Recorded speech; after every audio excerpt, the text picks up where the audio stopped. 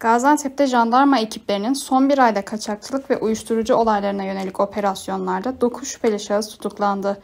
Baskın yapılan adreslerdeki aramalarda ise çeşitli miktarlarda uyuşturucu madde ile çok sayıda kaçak malzeme ele geçirildi.